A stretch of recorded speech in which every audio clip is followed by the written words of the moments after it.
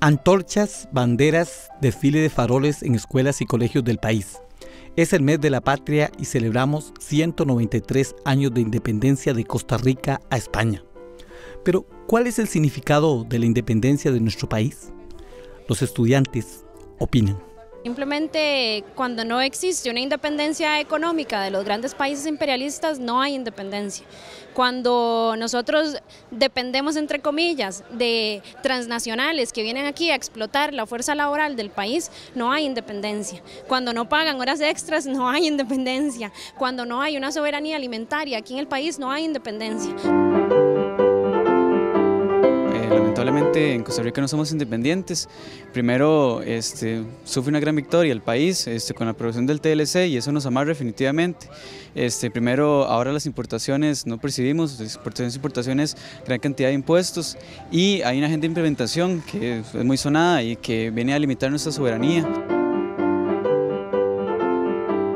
Que si existe, bueno, yo realmente creo que no existe independencia porque hay bueno, las decisiones políticas que se toman están sujetas a veces a organismos internacionales como la ONU, el Banco Mundial. Entonces yo creo que la independencia ha sido como un concepto que tal vez como que se ha invisibilizado en el país.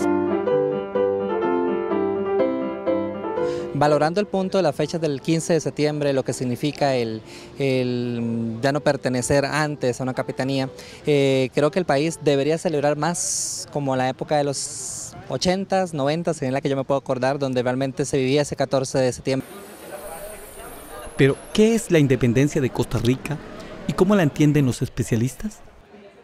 Desde principios del siglo XX, cuando Estados Unidos está avanzando, eh, está estableciendo bases marines en Puerto Rico, en Nicaragua, ya había gente haciéndose esa pregunta en Costa Rica, incluso eh, presentándolo en la prensa, la idea de que si realmente frente a esa eh, aceleración del, desarrollo de los Estados Unidos, su extensión hacia diversas partes del mundo, se podría considerar que Costa Rica fuese independiente.